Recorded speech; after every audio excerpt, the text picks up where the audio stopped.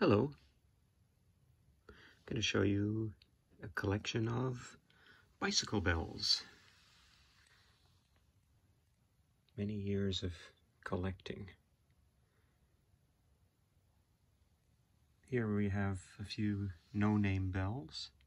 This one is unmarked except for that design, so maybe somebody out there knows what that is.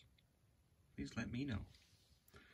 And this one here is interesting. It's an Umezawa Works Company Limited from Japan. Very nice design and shape.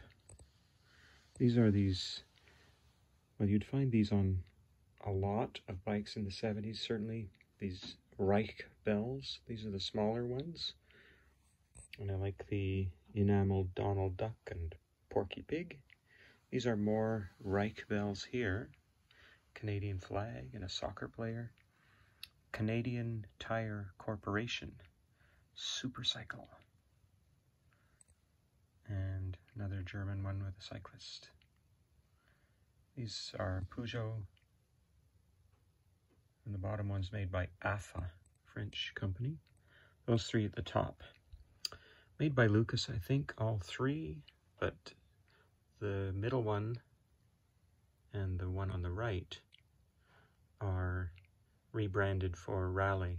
This one here on the left says Lucas King of the Road, but they all appear to be exactly the same underneath and inside, pretty much the same. That's uh, just says made in USA. It has the Schwinn logo, and I think it was made by this company, Bevin, that made this egg-shaped bell. That one took a lot of work just to get it going. It's kind of going. Well, there you go. Collection of bicycle bells. Thanks for watching.